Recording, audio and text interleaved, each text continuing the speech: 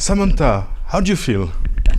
I feel I feel well considering that I landed from space a few hours ago. Um, I'm already uh, relearning how to walk. Um, I can stand up without having uh, um, too much, uh, you know, having the Earth uh, turn too much in front of me. And uh, of course, I'm slowly starting to get used to having weight again. So now I do not feel like I weighed 500 tons anymore, just a couple of hundred tons.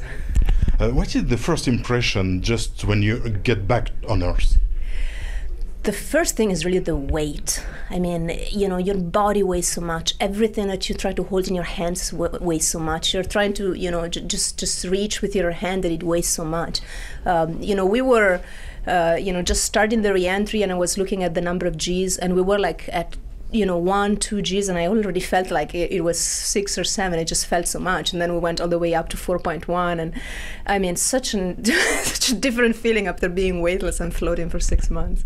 And when they opened the capsule the air did you feel something special?